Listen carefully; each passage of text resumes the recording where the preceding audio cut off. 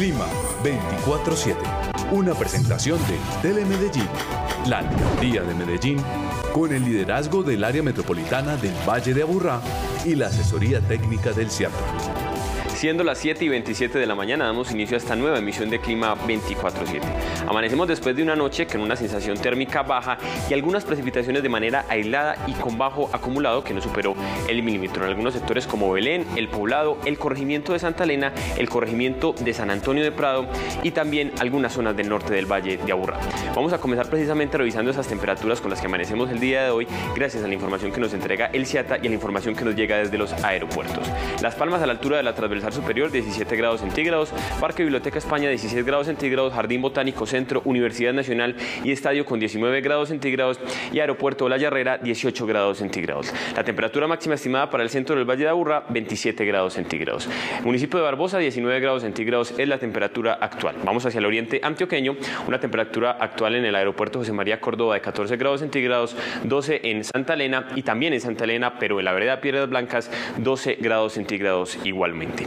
Ahora demos paso para revisar las últimas imágenes que nos entrega el satélite GOES o la visión infrarroja del satélite GOES que nos mostrará la altura de los sistemas y las temperaturas de las nubes. Tenemos un predominio de sistemas de baja altura sobre los llanos orientales y la zona sur de nuestro país. Hacia la región andina y la zona norte tenemos algunos sistemas de mediana altura, sobre todo en el departamento de Antioquia y en el departamento de Bolívar. Acerquémonos de una vez al departamento de Antioquia para ver cuál es el detalle en nuestra región, para ver cómo están los sistemas entonces de mediana altura. Tenemos acá algunos sobre el nordeste antioqueño y sobre el Bajo Cauca antioqueño que han ido ganando extensión en las últimas horas y que se han ido moviendo desde el occidente, o más bien desde el oriente hacia el occidente, porque estaban posados ahora sobre el Magdalena Medio. Vamos a acercarnos al Valle de Aburra y vamos a medir qué tan cerca estamos de estos sistemas de mediana altura en nuestra subregión. Acá tenemos el municipio de Barbosa y vamos a medir entonces qué tan cerca estamos de este sistema de mediana altura. Estamos a 15 kilómetros de distancia. El resto de nuestro territorio en este momento se encuentra bajo sistemas bajos en la atmósfera que no superan los 5.000 metros, que son las capas blancas y azules que estoy señalándoles en la imagen. Ahora demos paso a la información que nos entrega el radar meteorológico ubicado en Santa Elena, que nos mostrará cuál fue el desarrollo de las precipitaciones durante la madrugada. Como mencionábamos ahora al principio, no hubo precipitaciones importantes o de mucha intensidad acumulado durante la madrugada, y eso lo podemos constatar con el radar, porque vemos que tuvimos algunas precipitaciones de manera sectorizada hacia el norte en el municipio de Barbosa, que aún persisten en las últimas horas. Estos sistemas grandes sobre el nordeste antioqueño no alcanzaron pues a cubrir nuestro territorio, como lo veíamos ahora en el satélite, están posados sobre todo hacia esa zona de nuestro departamento. Y hacia el centro del Valle de Aburra ingresaron algunas precipitaciones, como podemos ver acá, pero son de manera sectorizada y de corta duración y también de muy corta extensión. Teniendo en cuenta estos datos, el CIATE nos entrega un pronóstico para estas primeras horas de la mañana de cielo nublado con una probabilidad media de lluvias que oscila entre el 40 y el 60%. Cada día avanza la búsqueda tecnológica por desarrollar vehículos que sean movilizados por energía solar. En pocos, meses, en pocos meses conoceremos el primer vehículo colombiano que participará en la carrera solar más importante del mundo. Su nombre será Primavera y correrá bajo temperaturas que pueden llegar hasta los 50 grados centígrados.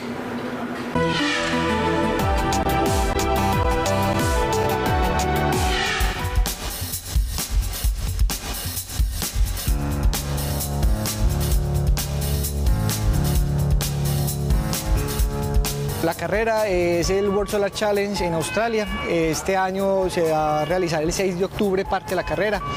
Eh, la carrera consiste en 3.000 kilómetros que se van a recorrer desde el norte de Australia, de la ciudad de Darwin, hasta el sur de Australia, la ciudad de Adelaide. Nosotros no podemos coger energía de ninguna otra fuente diferente al sol, o sea, nosotros el vehículo se tiene que ser, eh, digamos, autosostenible en ese sentido. La idea sería pronto más adelante tener vehículos que sean híbridos en el sentido de que sean vehículos eléctricos con paneles solares, pero el panel no sería el encargado como de eh, administrar toda la energía eléctrica al, sistema. Cuando se ponen estas, necesitamos poner en este momento pues los socios principales del proyecto son EPM eh, e y AFID. Eh, ¿Qué se busca con eso? Se busca demostrar como las capacidades que tenemos, digamos, a nivel de academia e industria para desarrollar tecnología. La carrera arranca el 6 de octubre, la premiación es 7 días después, o sea que en realidad pues se está dando como 7 días para que los vehículos lleguen eh, o, no llegan. El presupuesto que nosotros tenemos para la carrera es realizarla en 5 días, es el tiempo en el cual también los mejores equipos lo han realizado y estamos aspirando pues a hacer una muy buena representación eh, del país y la idea es llegar pues entre los 10 primeros y obviamente pues todo el mundo va a una competencia a ganar y eso es lo que nosotros también estamos pensando.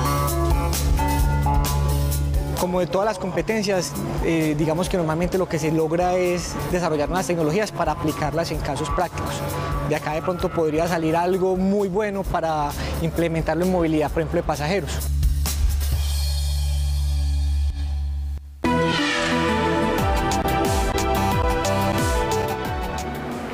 Quiero despedirme entonces precisamente con esa información internacional que llega desde Bangladesh, porque allí se ha presentado un ciclón que ha dejado hasta ahora un saldo de dos personas muertas y las autoridades han tenido que evacuar aproximadamente un millón de personas de zonas que están en riesgo de que se sigan afectando por las inundaciones que ha generado este ciclón que en las próximas horas se espera que sea convertido en tormenta tropical o que se degrade más bien a tormenta tropical. Cuando tocó el suelo, este ciclón alcanzó vientos de 100 kilómetros por hora y las olas alcanzaron una altura de 2.1 metros de altura. Si ocurre alguna eventualidad, pues las estaremos informando a través de nuestras redes sociales y en la próxima actualización de los datos del estado del tiempo en la emisión de Noticias Telemedellín del mediodía. Quiero invitarlos a responder la pregunta de la semana. ¿Qué buena práctica tiene con respecto a la quebrada cercana a su casa? Esto lo puede ser a través de nuestras cuentas en las redes sociales. Vamos a ir a unos mensajes institucionales y ya volvemos con más de Mañanas con Vos. Clima 24-7.